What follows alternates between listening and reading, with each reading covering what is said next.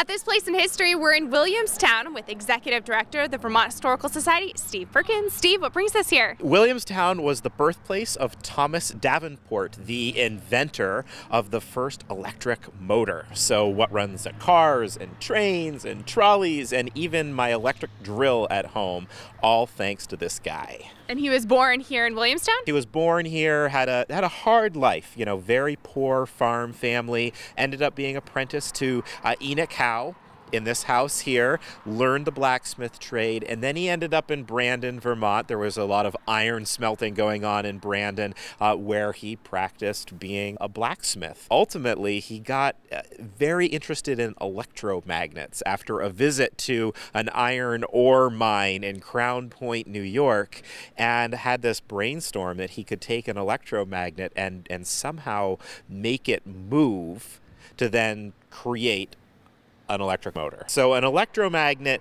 um, at the time was a soft iron core with copper wire wrapped around it, and then I had uh, one end usually had a copper probe, and the other had a zinc probe that went into a galvanic battery. So think uh, potato batteries that you like ever made in school, where you, you stick the two probes in the potato. And so scientists had figured out that you could make a, a magnet that ran on this electricity that was created by this battery.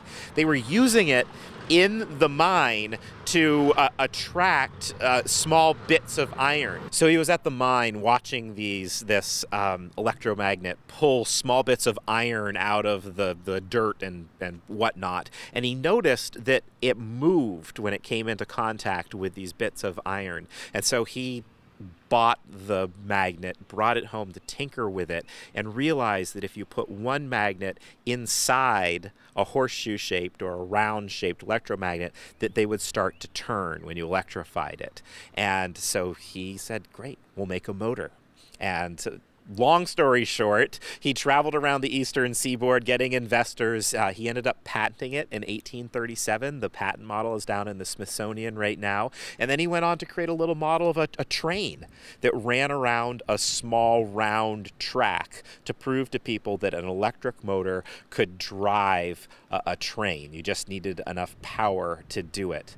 Now, he died poor and destitute, as most inventors do, at age 49. He was born in 1802, and so he, he died at age 49, uh, but his invention lived on, and, you know, 10, 20 years later, you saw it starting to drive trolleys throughout the United States and, and all other forms of locomotion. At this place in history,